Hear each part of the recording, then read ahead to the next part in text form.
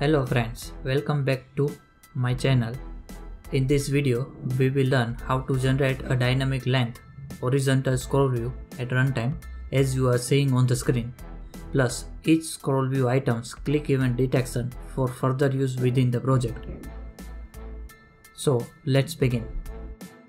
In this channel, we produce a content related to game development using the Unity 3D game engine and designing through different popular softwares on a regular basis. So, if you are interested in this, then don't forget to subscribe to the channel.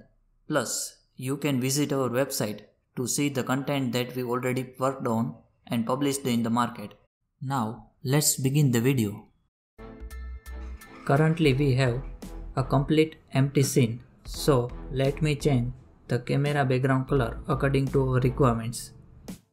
Within the project, we have two graphics. First, a button image and second, a scroll view container image. First, let me create a canvas with 1920 by 1080 resolution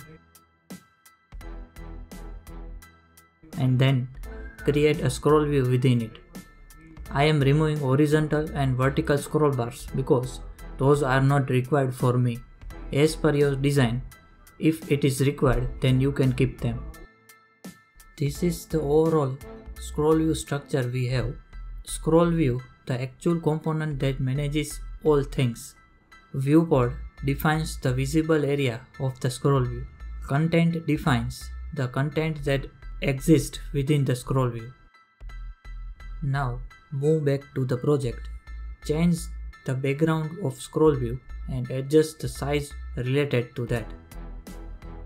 Within the content section, I want to put all items in horizontal order only, so I am adding horizontal layout group component. Removing checkmark from child force expand width and height.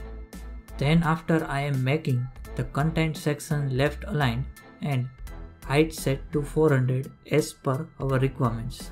And at last, child alignment setting to middle center of horizontal layout group component so all elements start positioning from the center. Now it's time to create a button item as per our requirements so let me prepare it.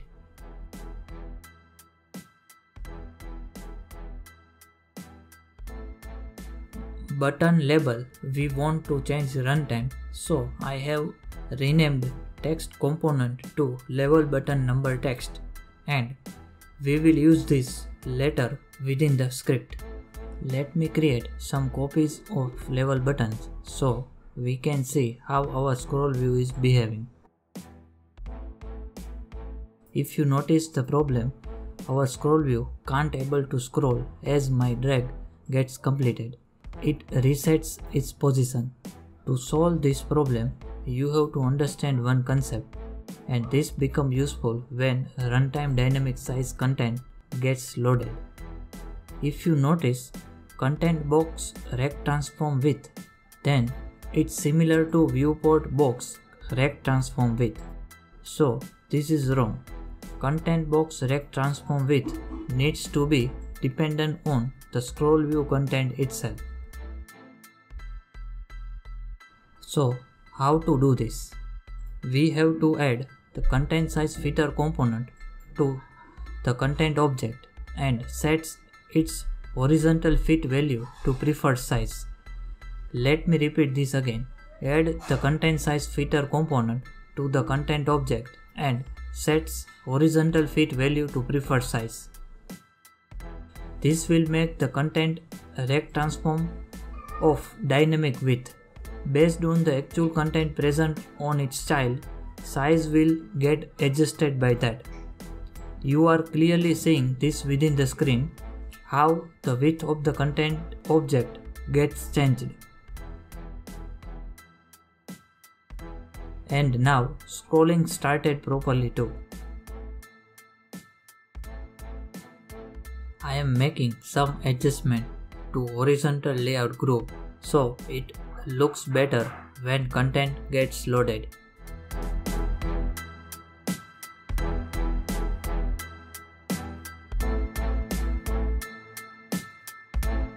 Now we have to start loading content at runtime. So for this purpose I am creating two scripts.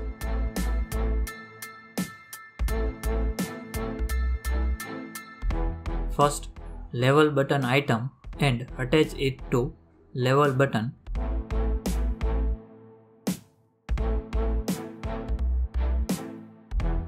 and next script is level scroll view controller and attach it to horizontal scroll view. Let's start the coding part and first open level button item script. Define two public variables which do not become visible in Unity editor.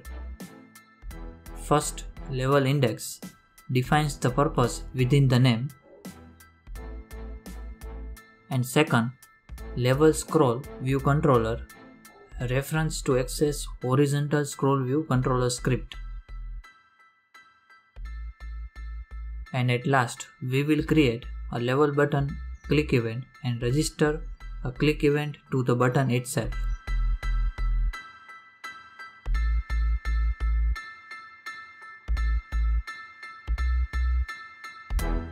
Next, we will create a prefab of level button so we can generate as many buttons as we want. I am adding text reference to update level buttons level number text.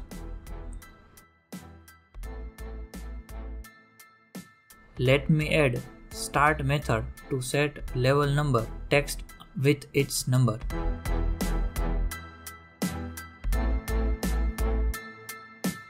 Within the level button prefab, assign level button text object to its reference within level button item script.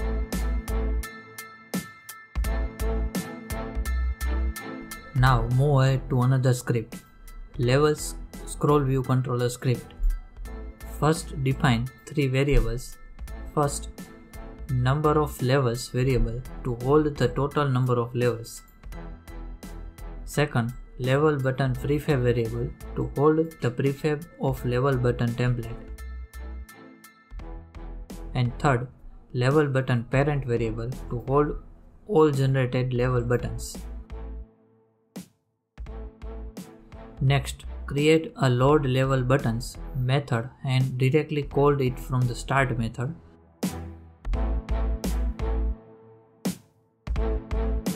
Within load level buttons method, instantiating level button and directly setting it as a child of level button parent.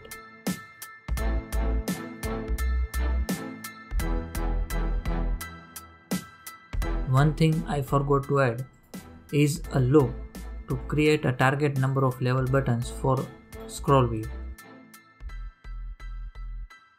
In the next two lines, we are assigning values to two variables of level button item script level index and level scroll view controller.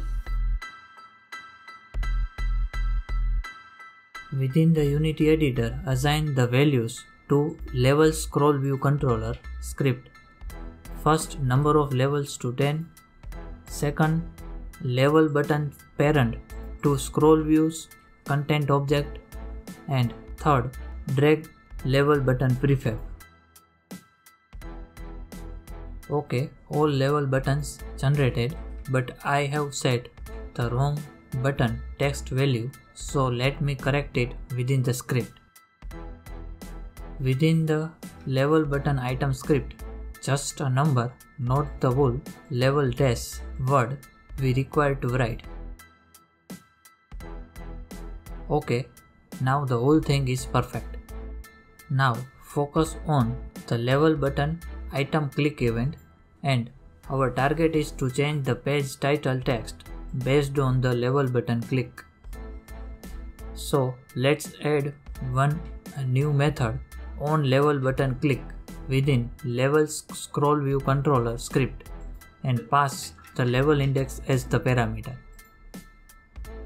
Within the same script, add one more text variable to hold level number text that exists on the page title. On level button click method, we just want to change the level number text. So I am adding only that line. Within your code, you have to update here based on the selection if you want to change something. Jump to another script. On level button click method of level button item script. You have to call level scroll view controller scripts on level button click method by passing current level button index. This is actually the click method which gets called by the UI level button object when it gets clicked. Let me confirm within the inspector that click event is registered or not. Creating a new text for a page title and adjusting some properties of it. We will use this title text to reflect level button click events.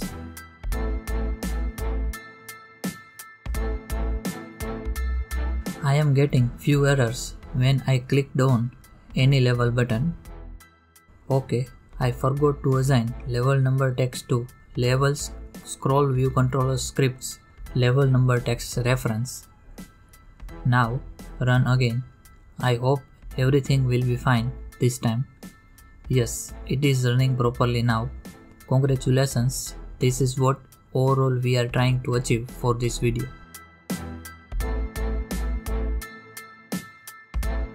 Now let me show you all game objects value one time so all things become clear in your mind.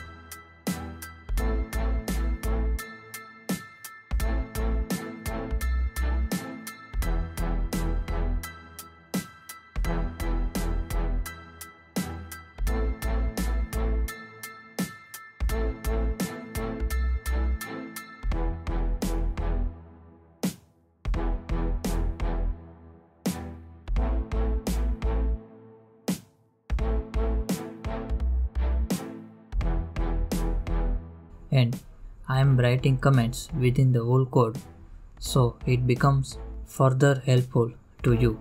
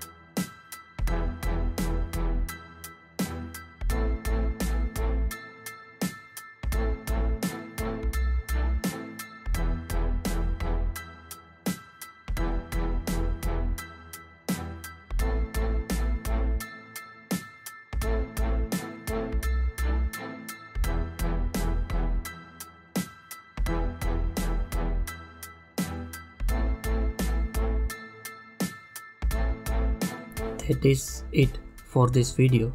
If you like this video then hit the like button of this video. And if you are interested to watch game tutorial videos related to unity game engine and published game videos then subscribe to the channel as well. Bye